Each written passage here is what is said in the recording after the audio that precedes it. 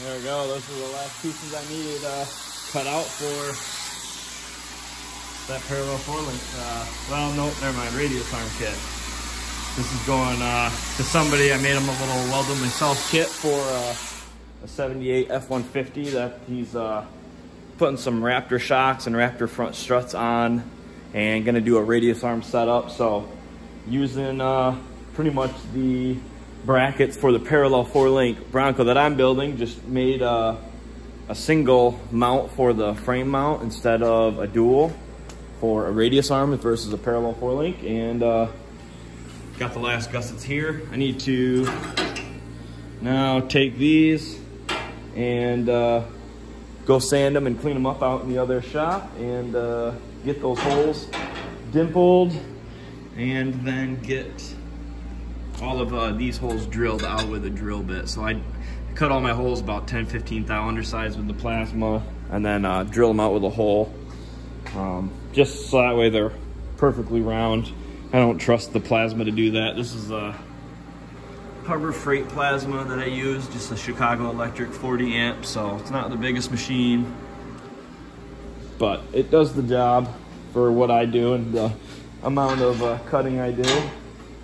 So I've got it set up with this Kaiser uh, refrigerated air dryer and then a couple other little uh, filters for hopefully trying to get the air out. Uh, my other biggest problem with my setup though is uh, I have a really small compressor. I just have like a 110, I don't even know how many gallons this is, whatever that is. Yeah, I don't know, I don't see it. 25 gallon. So a 25 gallon compressor, it doesn't really hold the CFM I need to like nest out a huge plate and cut it all. So that's why I always just cut, I pull one part in at a time and always make sure my pressure is all the way up and full, the tank's full when I start a cut. Just, just to make sure I've tried nesting stuff and I don't have the air capacity to cut a bunch of stuff. So that's kind of uh, my plasma table set up. So I kind of have all my stuff spread out everywhere. This is in my garage attached to my house and then I work out of my other garage over there. And then I got my all my personal stuff, you know, kind of tucked away in that one, but it's nice having the space and when the weather's nice, you can walk in between them. So yeah, I got a few more things loaded up. I need to uh, get cut out for the Bronco.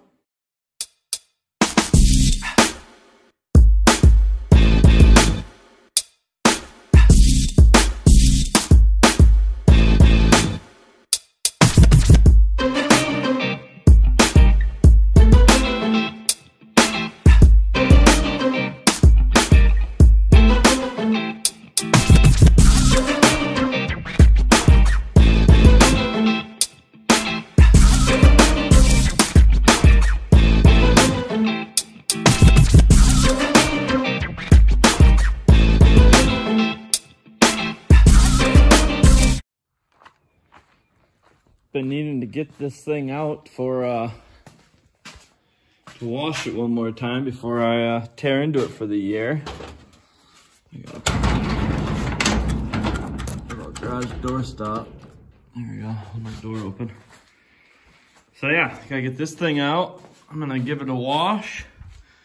Try to get some of this dirt off uh, some of the stuff, some of the shocks, mainly the rear. I'm gonna try to get uh, ring and pinion tore out of there in the next couple days. So I'm gonna pull this thing out of the garage and wash it up, flip it around. I only got that one light in here, so. Let's see here. It's been, it's been a little while since it uh, started. So I started it like once this winter.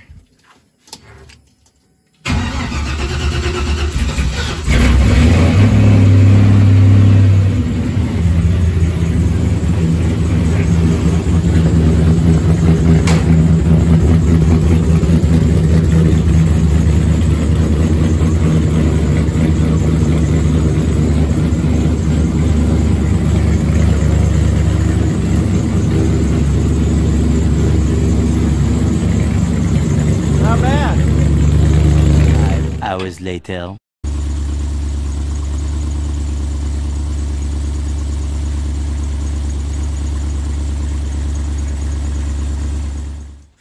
I got a nice uh, day to pull this thing uh, out and wash it the other day. So still is uh, super dirty, but somewhat better. Got a lot more of the mud off. And now I'm gonna start working on getting uh, the third member out the ring and pinion in there is junk. I don't know if, uh, yeah, you can't really see. The thing was clanking pretty bad last time I drove it in like September, so Got to pull that out. Uh, that's going to be pretty destroyed, I'm sure. Um, I've already found that I'm going to have to put some new studs on. If you can see that, all my studs, these lug nuts were all hard coming off. They were, all the lug nuts are stripped. So I'm going to have to put, uh, get some new studs for that, that actually. The other side was fine. I'll probably get new studs for that side too. So I've broken a set on that side before I've sheared them all off, so. Uh, it's one of those things, I guess, I guess uh, probably every two years I replace the studs because I haven't made it more than two seasons on the same set of studs, so. Luckily, uh, I guess we caught that before these ones sheared off, so. Get that ripped apart, and that's kind of what I'm doing is uh, going through this uh, rear end. I, I think the brakes are all fine. They're pretty rusty from sitting all winter, but um, just gonna get the third member pulled out of there and get some parts ordered and hopefully show up next week, get this thing together. That's really my only hold up for getting in the dunes is uh, getting that third member fixed. So gonna set up a time lapse and get this thing pulled out and see how bad the ring and pinion look.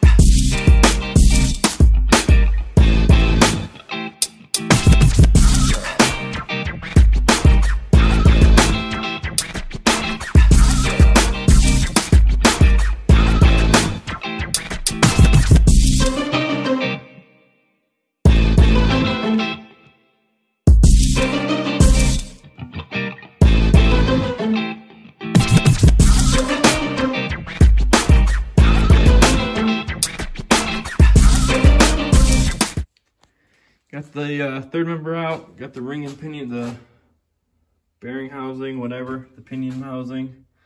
Got that off and this is what uh, my pinion is looking like.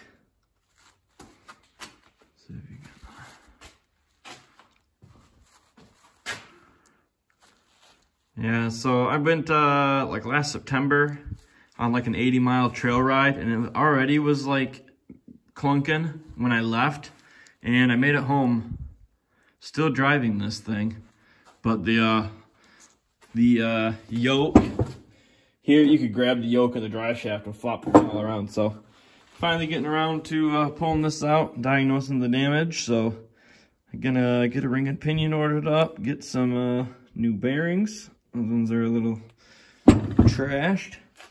And get those set up. So that probably won't come until next week but uh, yeah, I gotta get those studs ordered so I can replace the studs in uh, my axles and get some parts ordered for that thing. So uh, about a week and a half till the dunes open. So shouldn't be too bad as long as I can get the uh, ring and pinion I'm looking for. That's all.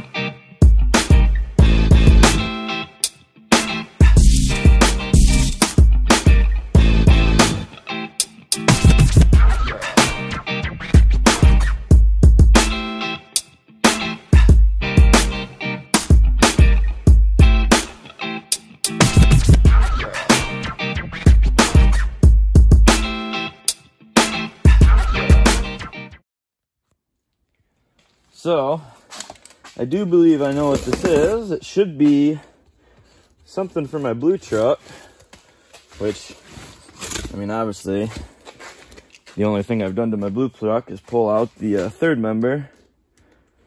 But I should have all the parts now to, um, oh wow, that didn't work at all. Just, oh, they stapled it. Damn. Okay. Hang on here. Oh, that's not working. All right, I'm back. I got it open. There was another box inside the box, but my ring and pinion showed up. And it's a little shiny. I decided to go with, I got a cryo, well, it's supposed to be. It's off eBay, so it's probably just polished, but it's supposed to be cryo heated or heat treated. Huh, I don't know, that looks used. Um, I don't know. We'll see how it works. I've been running, uh, like, like Motive gear or Richmond gear. I pretty much put a ring and pinion in my truck every season. Um, I've always wrecked them. I've tried a couple different gear ratios. Um, I started the truck out with 488. Um, and maybe I could go back to that, but uh, my engine was running a lot different when I was running that 488. So I just never really liked it with the 4.8 that I run, the uh, engine. And the cam that I have in the thing, the uh, the 4.8 that I have made peak horsepower at like 5,700-ish, 5,800 RPM. So I run the thing, I try to keep the thing, and I actually even have a new converter maybe to try this year. I haven't put it in, but it's like a 4200 stall converter I might try. I've been running like a 3500. Um, just because like my first and second gear shift, I'd like to get the RPM up a little higher for that shift. But before I was going to try the converter, um, I needed a new ring and pinion. Obviously, I showed you the other one. That was a 567 ring and pinion, um, which I really liked where my Turbo 400 and second gear was at. Um, the problem, the top, I could only get second gear uh, doing about 75 mile an hour with the 567 gear. So I'm trying to get a higher mile per hour in my second gear because that's what I pretty much run in the dunes, the second gear. Um, third gear in about one spot, I can use third gear. So um, third gear is over 100 mile an hour. So that's, you don't get to use that often in Silver Lake. Um, but second gear, I went with a 529 to try. So I've ran 488, I've ran 567. I did a big jump. Now I'm gonna, I went down a little bit. And some of the reasoning is like the 567 pinion is a six, six, uh, I don't know what you call it, but six spline uh, pinion, whereas 529, it is a little bigger and goes to a seven. So there's one, two, three, four, five, six, seven on there. That 567 in the other garage that I just pulled out of my truck, that's all chewed up is a it's got six splines and it's a little smaller diameter. So we'll see how this one goes this year. Um, it really wasn't too crazy much more money that I spent on this for compared to like the Richmonds or the Motives, you know, like the $200 or less like ring and pinions.